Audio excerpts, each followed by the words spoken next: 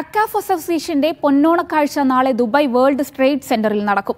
പ്രവാസ ലോകത്ത് പണിയെടുക്കുന്ന കുറഞ്ഞ വരുമാനക്കാരായ ഇരുപത്തിയാറ് പേരുടെ അമ്മമാരുടെ സാന്നിധ്യമാണ് ഓണാഘോഷത്തിൽ പ്രധാനം. വിവിധ മത്സര പരിപാടികളും ഇതിന്റെ ഭാഗമായി അരങ്ങേറും. രാവിലെ എട്ട് മുതൽ ആഘോഷ പരിപാടികൾക്ക് തുടക്കം കുറിക്കും. തുടർന്ന് വിവിധ കോളേജ് അലൂമിനി അംഗങ്ങൾക്കായുള്ള അത്തപ്പൂക്കളം സിനിമാറ്റിക് ഡാൻസ് പായസം പുരുഷകേസരി ട്രഡീഷണൽ ഗെയിംസ് മലയാളി മങ്ക എന്നീ ഇനങ്ങളിൽ മത്സരം നടക്കും. കോളേജുകളുടെ സാംസ്കാരിക ഘോഷയാത്രാ മത്സരവും കുട്ടികൾക്കായി പെയിന്റിംഗ് ചിത്രരചനാ മത്സരങ്ങളും അരങ്ങേറും. പതിനായിരം പേർക്കുള്ള ഓണസദ്യയും ഒരുക്കുന്നുണ്ട്. മാതൃവന്ദനം പരിപാടിയിൽ അണിനിരക്കുന്ന ഇരുപത്തിയാറ് അമ്മമാരും കഴിഞ്ഞ ദിവസം ദുബൈയിൽ വന്നെത്തി.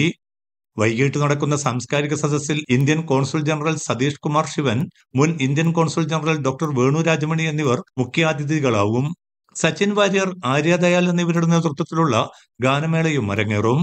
AKCAF association president Polty Joseph general secretary Deepu A S treasurer Muhammad Naushad vice president Venkat Mohan general convener Shankar Narayanan director board അംഗങ്ങളായ Muhammad Rafeeq Machingal Radhakrishnan Shine Chandrasenan Sanu Mathew joint general കൺവീനർമാരായ doctor Jayasree A V Chandran advocate Sanju Krishnan Febin John Mansoor C P എന്നിവരുടെ നേതൃത്വത്തിലുള്ള മുന്നൂറോളം പേരുൾപ്പെട്ട വിപുലമായ കമ്മിറ്റിയാണ് ആഘോഷ പരിപാടികൾക്ക് മേൽനോട്ടം വഹിക്കുന്നത്.